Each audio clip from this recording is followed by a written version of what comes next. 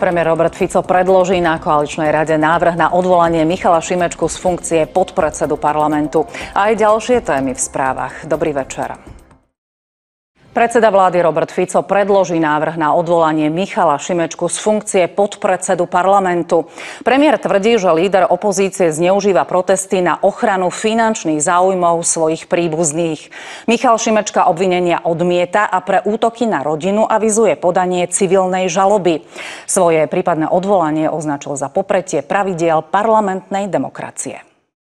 K téme sa vyjadria aj politológovia v komentároch dňa večer na Spravodajskej 24. Juraja Cintulu, obvineného z atentátu na premiéra Roberta Fica na slobodu z väzby neprepustia. Prezident Peter Pellegrini sa po mesiaci prihovoril verejnosti cez video na sociálnej sieti.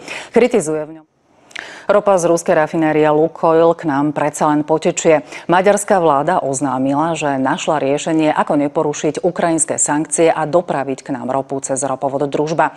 Lukoil stopol dodávky potom, keď naň Ukrajina uvalila sankcie.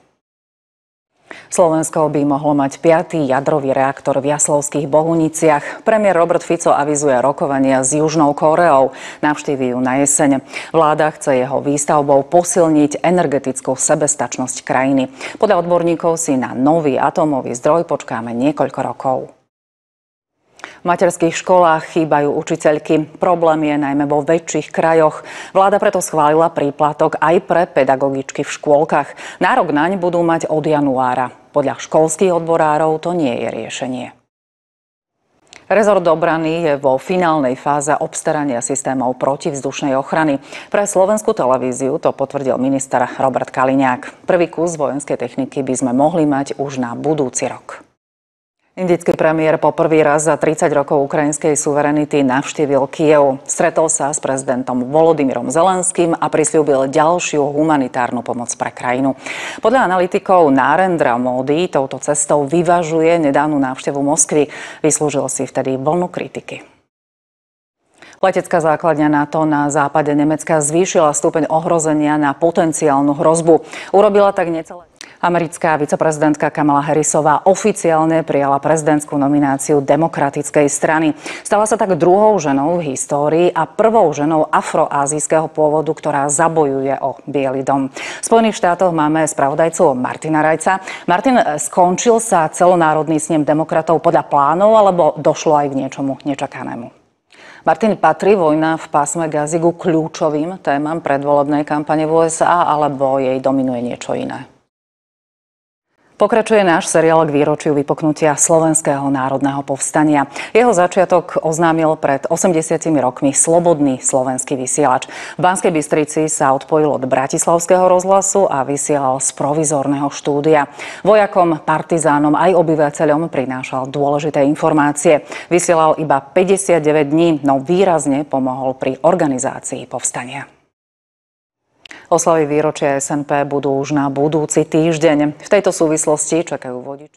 V Banskej Bystrici oslavy pripravujú, v Košiciach si už Slovenské národné povstanie pripomenuli. Historickým centrom prechádzala vojenská technika, mali tam ochutnávku dobovej poľnej kuchyne a tiež špeciálnu výstavu. Oslavy zorganizovalo Východoslovenské múzeum. Jasenie v okrese Brezno prišiel o život 63-ročný majiteľ kontaktnej zoo. Smrteľne zranenia mu spôsobila jedna zo šeliem, o ktorú sa staral. Areál bol obľúbený, navštevovali ho najmä rodiny s deťmi. Nedaleko zvolená odhalili kriminalisti z finančnej správy nelegálnu výrobňu cigariet. Vyrábali ich v bývalých priestoroch poľnonákupu Slatina. Britský premiér odmietol informáciu, že Londýn sa chystá udeľovať študentské a pracovné víza pre mladých Európanov.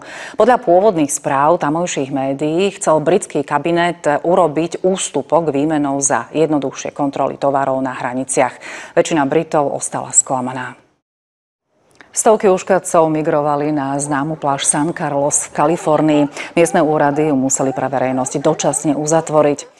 Sopečná puklina na juhozápade Islandu opäť chrlí lávu. Je to už šiesta erupcia od vlaňajšieho decembra. Podľa miestnych úradov láva zatiaľ nikoho neohrozuje. Napriek tomu obyvateľov z okolia preventívne evakuovali. Merania hydrologov potvrdili, že po medardovej kvapke síce neprší 40 dní, no obdobie po 8. júni je najdaždivejšie v roku. Aspoň na Liptove, odkiaľ vyhodnotili údaje za uplynulých 35 rokov. Napriek tomu poľnospodárov trápi sucho aj na severe Slovenska. V Nitre oficiálne sprístupnili rozšírené zoborské feraty. Vznikli vďaka spolupráci samozprávneho kraja, Ministerstva cestovného ruchu a športu a Nitrianskej agentúre cestovného ruchu. Ide o najjužnejšie položené feraty na Slovensku. Národnom parku Slovenský raj obnovili vzácnu studňu. Nachádza sa na dôležitej kryžovatke turistických trás na Poliane Glac. Už dávno tam viedla stará furbanská cesta, ktorá spája Spiš s Gemerom. Turisti sa vodou zo studne môžu osviežiť, no piť by ju nemali. V Košiciach by malo pribudnúť ďalšie stredisko na umývanie a údržbu vlakov. Železničná spoločnosť Slovensko ho plánuje postaviť za približne 180 miliónov z eurofondov. Časti pozemkov, kde by malo centrum stáť, je teraz nelegálna osada. Kedysi tvrdé mozole starých otcov, teraz už iba romantika. To je potníctvo na Orave. Pre niekoho je však výletná plavba o prekonaní samého seba. Plotníkov pod Oravským hradom navštívili ľudia so zdravotným postihnutím. Show Milujem Slovensko a cestou, nie cestou, tento raz zo Splitu, to je večerný program na jednotke. Na dvojke to bude film z obdobia SNP, nakrútený podľa literárnej predlohy Vladimíra Mináča Smrť chodí po horách. Téma komentárov dňa na 24. aj návrh na odvolanie Michala Šimečku z funkcie podpredsedu parlamentu. Prežite pekný večer a dovidenia.